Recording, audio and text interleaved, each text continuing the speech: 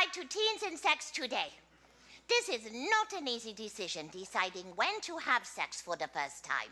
There are so many pressures from, from movies, from friends, from our own bodies.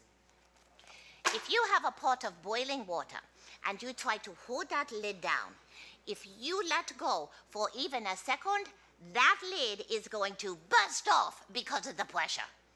On the kibbutz, my top popped.